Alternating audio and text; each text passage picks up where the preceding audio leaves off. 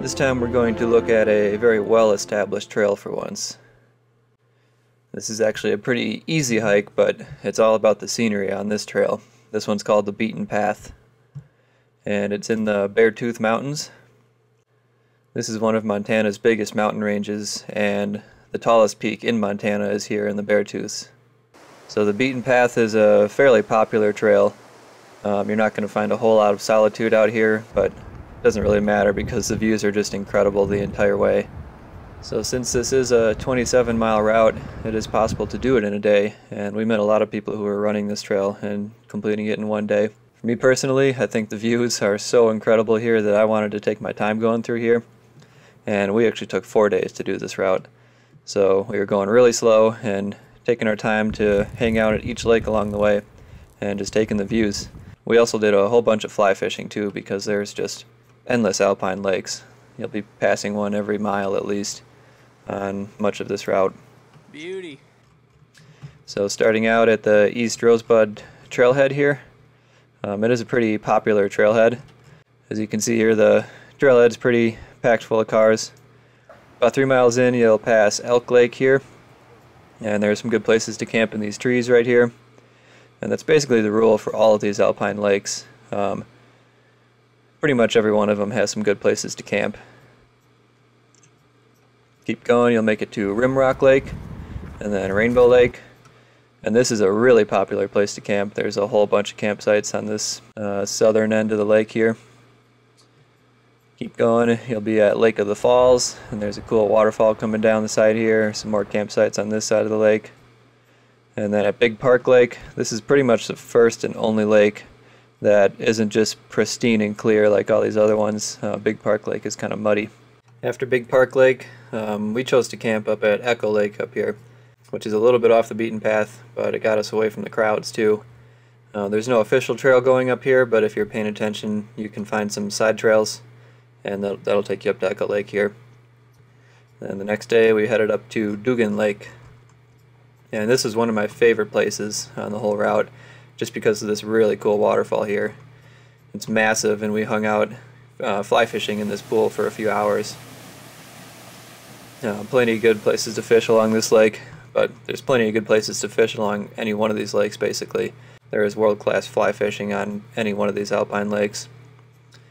Uh, keep going up to Twin Outlets Lake and then Dewey Lake. These are both pretty big lakes, and we ended up camping on this side of Dewey Lake here, which gives you pretty good views of these massive mountains surrounding you. And then keep going, you got a little bit more of a climb to get up on top of the Beartooth Plateau. Uh, Fossil Lake will signal that you're up on top of the plateau. And once you're up here, it's a pretty surreal landscape. It's very strange looking. It's just rock and alpine grass, basically.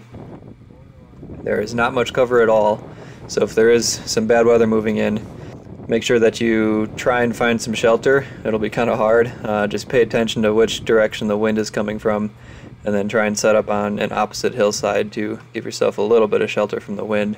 But this is a really cool place to actually leave the beaten path and do some off-trail hiking. Since it is so exposed up here, the off-trail hiking is actually very easy. Just make sure that you know where you're going because it's pretty easy to get lost up here. Everything kind of looks the same and there are so many lakes that it's hard to remember which is which.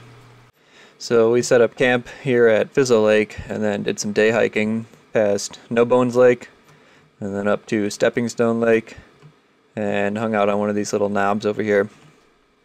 And from up here, uh, you just have an incredible view of the tallest peaks in Montana. So up here you have uh, the Spires, Mount Villard, Glacier Peak, and then over here is Montana's tallest peak, which is Granite Peak, and that's 12,799 feet.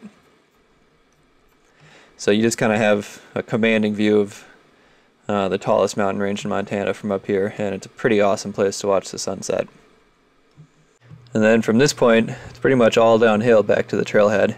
You'll spend a little bit more time up on the plateau, uh, passing a whole bunch more lakes on your way out.